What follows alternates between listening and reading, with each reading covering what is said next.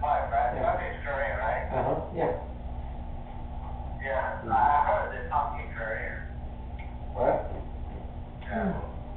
Okay, anyway, I, I just guess, trying to figure out what happened. This guy Mhm. didn't pick up her mic. Mm-hmm. Is it or whatever? Or mic close to somewhere? I, I'm just curious. Actually, I talked to, we're, we're, Ignacio and me, we talked to Mike today. Actually, he works for Mike.